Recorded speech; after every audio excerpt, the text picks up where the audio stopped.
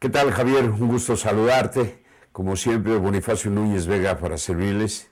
Exárbitro después de casi 13 años, 6 meses. Estoy a sus órdenes y muchas gracias por tomar en consideración mi opinión. Respecto a la pregunta que me hacen que si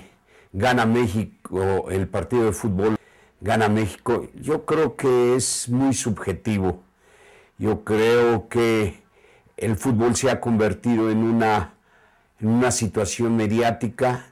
en donde todos los, todos los habitantes de este país pareciera que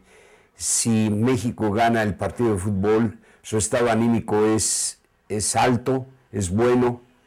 porque aunque no querramos, el, el, fútbol se ha convertido en un tema dentro de la sociedad a, a comentar sabiendo o no sabiendo, viéndolos eh, cada ocho días los partidos o no viéndolos.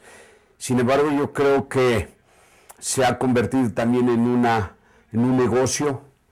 en donde, pues aunque no queramos decirlo, las, las televisoras eh, lo meten tanto hasta en la sopa que, que lógico las personas que, que, no están involucradas en, en ese ambiente o en ese, en ese contexto del fútbol, pues este, eh, hacen que precisamente se adentren y se, y se pongan de buen humor porque hasta, insisto, hasta en las reuniones sociales son tema de conversación. Y yo creo que no es que México gane, sino a lo mejor la situación, eh, insisto, de estado de ánimo de los mexicanos ganando eh, o teniendo en consideración que se va al Mundial de Sudáfrica, pues pudiera haber un estado anímico mejor, pero no va de por medio ni la patria, ni, ni, una mejor estabilidad económica, que estamos,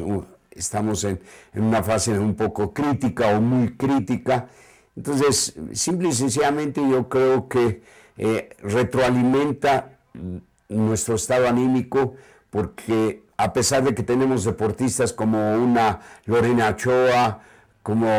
la, clavadiza que ahorita se, se, me va su nombre, eh, no hemos tomado en consideración que pues, ese, esos deportistas deberían de, de darnos un estado anímico mejor.